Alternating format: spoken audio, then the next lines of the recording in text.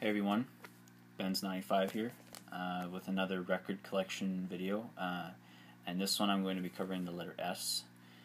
Uh, so this one is going to be another two-parter. Um, basically I'm going to be covering in both videos about eight records uh, in total. So because that's how many records I have uh, co covering the, the letter S. So anyway, let's begin the video. First record. Saxon, Strong Arm of the Law. And this one features the song uh, Heavy Metal Thunder. Uh, don't know too much about Saxon. Uh, I don't, all I know is that they were, you know, a major influence to many, uh, you know, 80s metal bands uh, in the 1980s. You know, that including Metallica and I guess countless others. But yeah, this is a really cool album.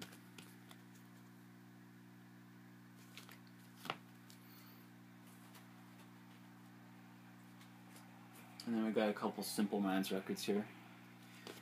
We got New Gold Dream. 8, 81, 82, 83, 84. And this one features uh, someone, somewhere, some or someone somewhere uh, somewhere in someone summertime. That's a mouthful. Uh, uh, promised you a miracle. Uh, glittering prize. Yeah, this is a a really good album. Uh, it's not really good actually. It's great. This is a great album. You know. Um, lots of great new wave post punk sounding uh, songs. You know, Simple Minds are just one of those bands that just they're they're they're just one of those. Uh, um, they're one of the finest new wave uh, new wave bands in the 1980s. They're one of the finest 80s bands, you know. So yeah. And then uh, and then I have uh, Simple Minds Sparkle in the Rain. And this one is uh, a little different uh, than the other one. This one's a little bit more rock oriented. Um, they kind of stripped away their, um, or not maybe stripped away, but they kind of broke free of their, you know, new wave, uh, you know, sound, and they kind of became more of a like an, an arena rock type sounding band like U2. Um, you know, their songs were more just, I guess, uh, stronger in in some way. I guess if you want to put it that way, and uh, you know, just really good stuff. Uh, this one features uh, "Up on the Catwalk," uh, "Book of Brilliant Things," "Speed Your Love to Me," "Waterfront." Um, you know. My favorite song on here is actually, well, I like them all, really. Uh, well, most of them. I like most of them uh, more than the others, but uh, one that I actually quite like more, um, I guess, is uh, "C Moon Cry Like a Baby." I don't know, but yeah, it's a good, uh, it's a, it's a really, really, really good album. You can't go wrong with Simple Minds. They're just uh, Just really good bands. And then I got uh, a couple records from Simply Red. This is a picture book. And this one features, uh, you know, Come to My Aid, uh, uh Money's Too Tight to Mention, and Holding Back the Years, which is uh, quite possibly one of their biggest hits um, and my favorite song on here, uh, I guess, other than Holding Back the Years, is uh, um, Look at You Now. That song is just so catchy, you know, it's ridiculous. So, yeah. This, this is a really good album.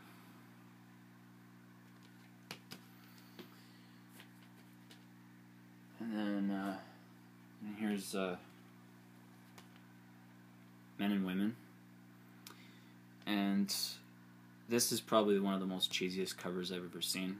Um, it's quite weird, but you know, uh, I kind of, you know, look beyond what the cover is, and I just uh, let the music do the talking.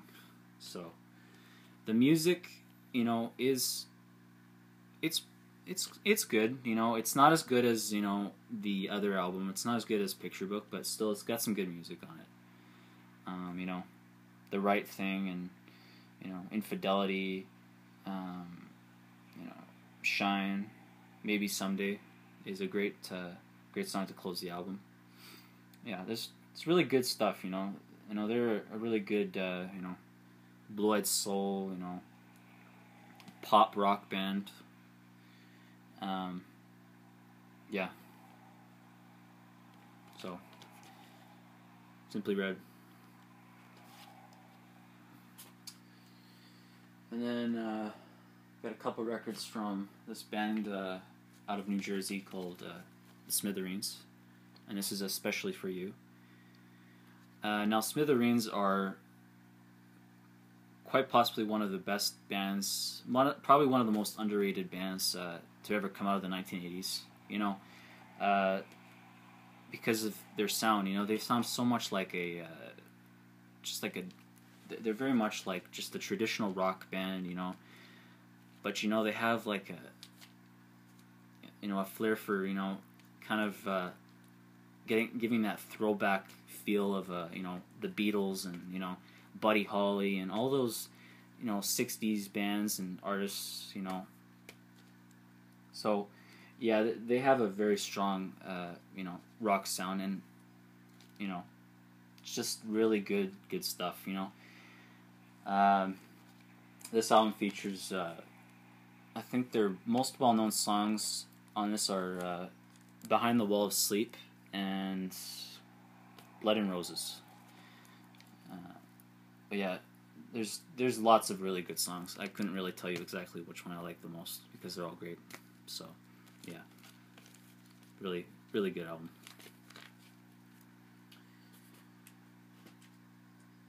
And then this is one. This one is my favorite by them, the Green Thoughts. Uh, you know, this one features uh, another really good song uh, on here, "Only Only a Memory," and uh, also features some some other some other great songs like well you know what? It's just more of the same great stuff you know? Because again I couldn't tell you which song I liked the most uh, you know from the other because they're all great. Because this is just such a great album I really dig this album so much like you know this is one of my favorite records. So this is like a five star for me. Um, what I don't understand is that this album features the song especially for you, but that usually happens on records, I guess rarely though, uh, where people have uh, the name of an album, their previous albums, you know, the title of something, and then you know, the next album features the the title of a song, and it's actually the title of a song that was, uh, or the title of their previous album name or whatever. But anyways, uh, that's not the most important thing on this record. Uh, the most important thing is that this album rocks, and it's so good. You know, great college rock sounding record, I guess. You know, kind of in the vein of REM in some way.